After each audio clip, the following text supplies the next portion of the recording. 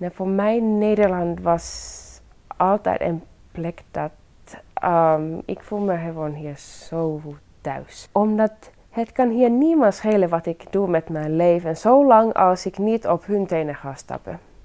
En dat vind ik hier fijn.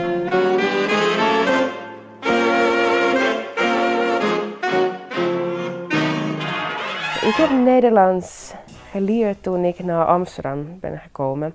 En ik heb dat gedaan omdat ik wilde niet meer een vreemdeling zijn. Ik wilde niet altijd die, uh, dit meisje dat uh, staat uh, ergens in een hoek. Andere mensen moeten altijd alles voor haar vertalen. En dat wilde ik niet doen.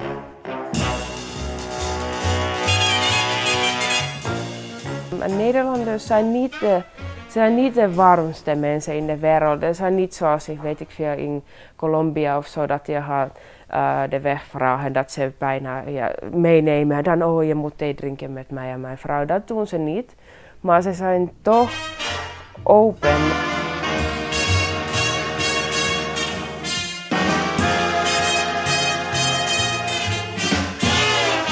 Ik mis de Finse natuur best vaak. Bijvoorbeeld ja, in de winter krijg je hier vaak zoals van claustrofobisch gevoel, omdat de wolkjes liggen echt één meter boven je hoofd bijna. En in Finland dat soort van open ruimte, het is...